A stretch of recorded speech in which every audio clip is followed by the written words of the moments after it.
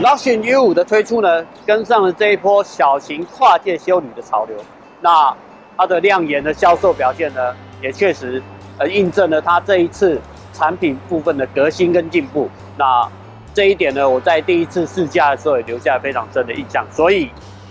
这一次我们在二零一七年票选呃呃最佳八部车款的时候呢，我们也选上了它。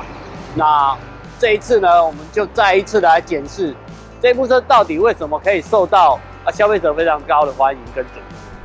现在的，微型修理车非常的夯，那 U5 呢刚好搭上了这一波的热潮。其实我在试驾的时候，对于它的整个动力的表现，还有整个底盘设定，其实还蛮意外的，因为它的表现都比我的预期要来得好很多。呃，我觉得它有三个主要的特色，第一个是动力系统，第二个是整个的行车的控制界面，然后第三个当然是空间。以这个七十万上下左右的车来说的话，它的一点六升的引擎，然后配上这个呃运转质感非常好的动力，那虽然马力只有一百 SP，或许你会觉得说呃烤酱冲劲不太够，但实际上就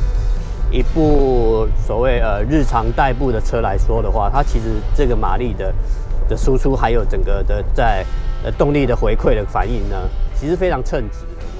第二个重点就是车上的大荧幕，这个大荧幕非常棒，我第一眼。看到它我就爱上它了，真的，在操作上面的敏感度，还有里面所提提供的功能呢，都觉得真的是太实用了。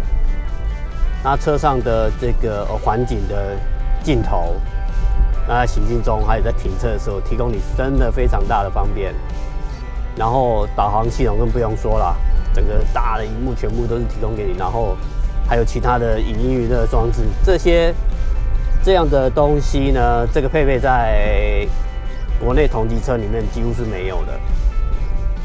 第三个重点就是空间啦。以这个尺码的车来说的话，其实我现在坐起来，你可以看到，其实空间还蛮充裕的。后面其实它的头部啊、腿部的空间啊，都非常的充裕，非常棒。至于底盘开起来是怎么样，其实我觉得这个车还蛮轻巧的。方向盘转向很轻，但是轻巧并不代表它在过弯的时候不够稳定。其实这个车其实很灵活，车身尺码刚刚好，在弯里面操控其实还蛮犀利的。虽然没有到说像小钢炮一样，毕竟它是一部跨界修旅嘛，但是就这个几句来说，它的操控性我觉得算是好的。如果你最近正好对小型的跨界修旅感到非常高的兴趣，那。这一部 U5 是可以值得你去暂时间看一看，去试一试，相信会让你对 Luxury 这个品牌有不一样的观感。